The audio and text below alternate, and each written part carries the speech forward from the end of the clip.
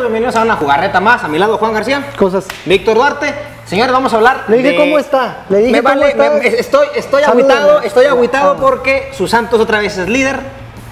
Y eso me molesta porque ahora resulta que son el quinto grande y quién te conoce Lobos Buap y ya se fue en la cima, como siempre, pero vamos a empezar. Bueno, pues los guerreros enfrentaron a los rayados de Sinaloa. Ah, bueno, caray, así- otra vez. Así los conocen en Argentina, En Argen- los rayados de Sinaloa. Pero bueno, el partido se dio de buena manera, terminó ganando 2-0, digo 2-1 el Pero el, par- Santos. el partido se resume en 10 minutos, los cinco primeros y los y cinco, los cinco últimos. finales, sí, de hecho, así se resumió. Este. Ah, así se resumió ¿Quién? el partido. Sí, sí. Así se le resumieron a Jonathan. Orozco al final. No, este, sí, cuando Vis- Vincent Janssen, el Vincent Hansen, Lonsen, Lonsen, Hansen. Ese mismo. Vicentito, Vicentito terminó Para metiendo los compas, para los compas. Para los compas. Terminó metiendo ese gol en ese rebote que dio Jonathan Orozco. Pero hay que destacar A ver, a ¿qué- la culebra. Ah, oh, no, Hable no. usted de lo que quiera, pero la culebra es un deus. Sí, es un Deus, terminó jugando muy bien. Ya aquí lo veníamos sacrificando terriblemente porque había tenido dos juegos muy malos. Pero ya te- volvió a el cu- la culebra de, de- del inicios del torneo. Ay, la culebra. sí. ¿Eso no? No, era eso? no, esa no. No, disculpe usted el baile. Muy, mal baile, muy mal chiste, muy mal todo. Sálgase de la toma, por favor. Pero bueno, este, terminó Santos ganando de nueva cuenta. Los primeros cinco minutos fueron Sí. muy buenos.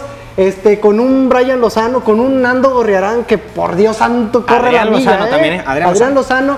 Eso de la presión alta le está funcionando muy bien al equipo y terminó anotando Jurito Furch y la culebra con un rebote ya si no la metía ya es porque de plano. Oye. Adiós culebra, bienvenido a Ayrton. Eh, ya vas a empezar candidatear a tus jugadores. Bueno, el asunto es que Julio Furch eh, anota su cuarto gol de torneo. Sí. Eh, la verdad creo que para mí fue mejor jugador del partido este, Furch que la culebra. Pero bueno, eh, la gente decide. Para Eh, la, gente, Gorriarán. la gente lo... ¿Gorriarán? ¿En serio? Bueno. Cuéntale todas las que recuperó. no, está bien, está bien. Aunque digan en otros programas que, Que- no. que no. Que no va.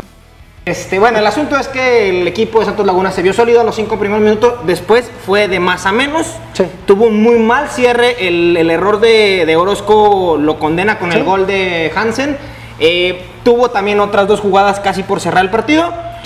Creo yo que Rayados de aquí se llevó muy buena renta con el 2 a 1. Sí. El marcador sí debe haber sido más abultado y también pudo haber sacado el empate. Pues prácticamente le terminó pasando lo de Necaxa. Este, Santos llegó mucho, mucho, mucho, mucho y sigue generando mucho fútbol, pero en ese lapsus brutus que tiene Santos, Sí, terminan sí, sí. clavándole el gol y, y a, a sufrir un poquito Oye. hasta que se volvió a acomodar otra vez el equipo. Un aplauso para la dupla que tiene Caicedo y, y Doria. Muy bien, Ah, ¿eh? Muy bien. Su Rafa Márquez, como usted le dice. Su Rafa Márquez. Me leyó la mente, las salidas que tiene por Impresionante, las bandas, o sea, cuando, cuando sale y presiona. Sí, la cajetea. Pero se, se ve acondicionado a lo que quiere Guillermo. Sí, sí, sí, se ve muy bien.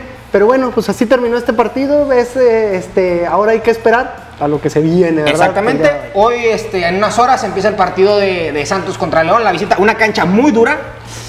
Que por lo Durísima. regular, Santos batalla en este campo. Déjeme le doy el dato el dato que a nadie le importa, que pero igual lo va a decir. Muy que a nadie le importa. Santos tiene un solo partido ganado en ocho disputados en el Camp Nou. Aplausos para ese dato. Con ese dato nada más decimos que ojalá Santos Laguna logre mantener el liderato del torneo. Eh, cabe destacar que la siguiente jornada descansa, Sí. no tiene actividad el equipo lagunero y muy posiblemente acarrea hasta el 15 de septiembre Sí. su liderato, siempre y cuando haya combinación de resultados. Sí, sobre todo, o sea, para empezar. Por eso dejamos aquí la tabla para Sí, que la, gente lo vea. La tabla, pero sobre todo hay que mencionar que si termina con estos tres puntos extras y combinando los resultados de América, América Tigres y, Y- y Querétaro, eh, Santos podría prolongar 15 días más este, su liderato. Además de esto es que terminando esta jornada, esta jornada pues, FIFA, en pocas palabras, este, va a tener ya plantel completo, ya sin ningún lesionado el, plant- el plantel de Santos, pero no salarlos para el día de hoy. Pero ya estaría recuperando a Javier Cortés y estaría recuperando a Ayrton Preciado, mi Ayrtiño, ya estaría regresando al plantel. Y pues ya, por fin tendría Guillermo Almada plantel completo. Entonces no va a haber pretextos para que Santos tenga un mejor despliegue en el torneo. Con esto yo creo, Juan, es el Pues- resultado para ahorita. Para el día de hoy, ay, jole, se hace que va a ganar Santos 1-0 y pujando, ¿eh? No traigo la playera porque. Híjole. Híjole, este, no es que no, es que no la lavé, huele un poquito feo del domingo. Eh, eh, pero- yo digo que 1-1 y con eso Pero terminamos ahorita el nos la bloque. ponemos así sucia. Y va a ganar Santos. Esto ha sido todo por la jugarreta de hoy. La verdad es que le- Santos deja mucho de qué hablar, pero vamos a diga, a la gente. diga arriba el Santos, ¿qué le cuesta? ¿Qué de le la cuesta? tabla nada más. Aquí déjenos sus comentarios. ¿Qué les gusta, qué no les gusta? Este año no va a ser bueno para Azul, ya vayan al Santos. ¿Qué les gusta, qué no les gusta? Mándenos saludos. Aquí a todos lo estamos revisando. Eh, Mándeselos a usted. Ya con eso nos vamos, Juan. Vámonos ya, Juan García, Víctor porque tengo que ver el juego. Hasta la próxima. ¿Listos? 5, 4, 3, 2. Esto ha sido todo por la jugarreta de... Te acabo de decir que cierro yo, güey. No te escuché.